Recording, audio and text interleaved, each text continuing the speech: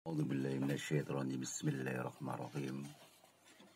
Assalamualaikum warahmatullahi wabarakatuh. Salam jumpa kembali untuk seluruh sahabat-sahabat youtuber, sahabat media, serta para pemirsa dan seluruh para pendengar, para penggemar di seluruh tanah Indonesia di Jakarta, Jakarta Selatan termasuk seputar Beji Depok. Untuk seluruh para pendengar, para penggemar termasuk sahabat-sahabat kita, sahabat youtuber, sahabat media, di mana saja Anda berada. Di sini saya akan menyampaikan salah satu pertanyaan dari saudara Agus dari kota Malang. Beliau menanyakan tentang mengenai perbedaan was-was dan syak ya. Mari kita sama-sama mengkaji agar kita bisa selalu menambah wawasan tentang mengenai ilmu agama. Uh, sebelumnya saya akan menyampaikan kepada salah satu konten kita, tapi tidak akan saya sebutkan namanya demi menjaga privasi ya. Uh, beliau menanyakan tentang masalah perbedaan was-was dan termasuk uh, uh, firasat yang tak pernah salah. Saya jawab ya. Silakan Anda pelajari kembali di video sebelumnya yang berjudul firasat yang tak pernah salah ya.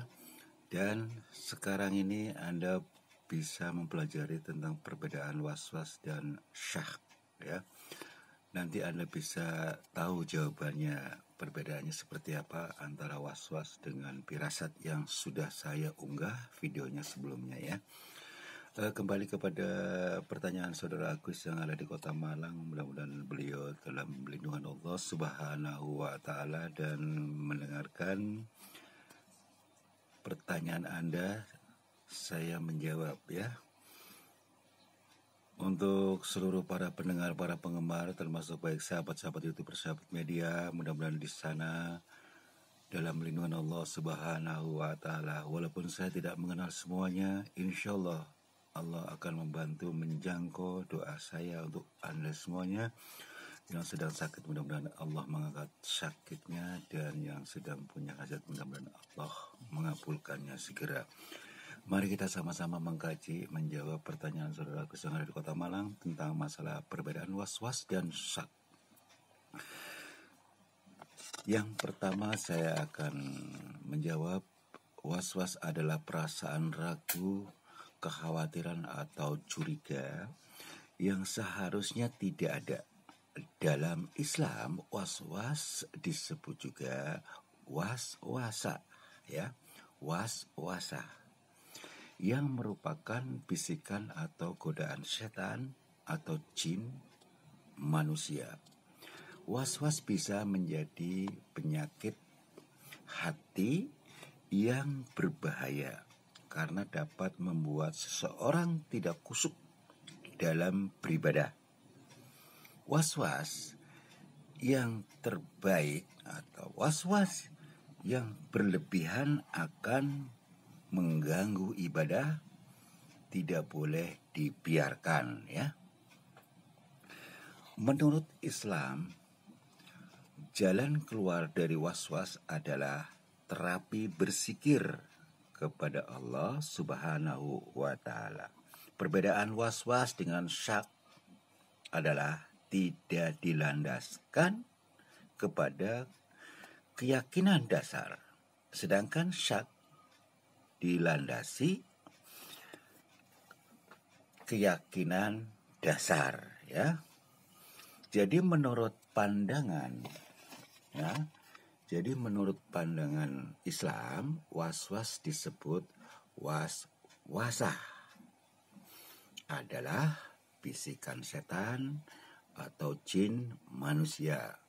Ini tertuang dalam surat An-Nisa ayat 1 sampai ayat 5 yang artinya katakanlah aku berlindung kepada Tuhan manusia raja manusia Tuhan manusia dari kejahatan al was-was al hanas ya Saudara-saudaraku yang dimuliakan Allah Subhanahu wa taala Wajar bagi setiap manusia memiliki rasa was-was. Namun apabila rasa was-was tersebut ya sudah berlebihan dan mengganggu ibadah, tentu tidak boleh dibiarkan. Mengutip buku potret ya kompetensi dasar santri oleh Abdul Mukid tahun 2018 perasaan was-was justru menjangkit ya umat muslim yang mengenal dengan baik ibadahnya. Ketika beribadah hati seseorang yang was-was akan selalu diliputi keraguan, perasaan tidak tenang, tidak kusuk dan merasa berat untuk melakukan dan melakukan ibadah ya contohnya saat berwudu. Ketika sedang beribadah anggota badan saat berwudu ada perasaan airnya belum merasa terkena semua di anggota badan atau belum sempurna. Sehingga harus mengulang basuhan wudhunya dan itu berlangsung berkali-kali. Setiap berwudu, hal ini biasa dilakukan yang dalih meraih kesempurnaan ya. Saudara-saudaraku yang dimuliakan Allah Subhanahu wa taala bahwasanya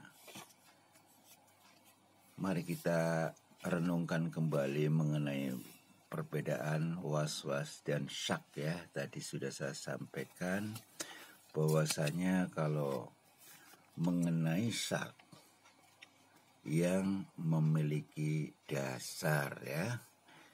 Kalau yang tadi saya katakan was-was tidak dilandasi dasar. Itu perbedaannya itu.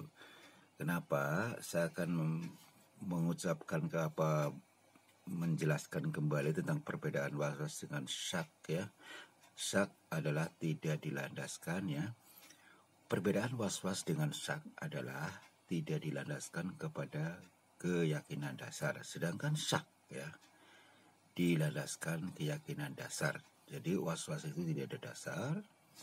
Tapi kalau dengan syak itu dilandasi dengan dasar. Jadi menurut pandangan Islam was-was disebut was wasa ya adalah kebisikan setan dan jin manusia.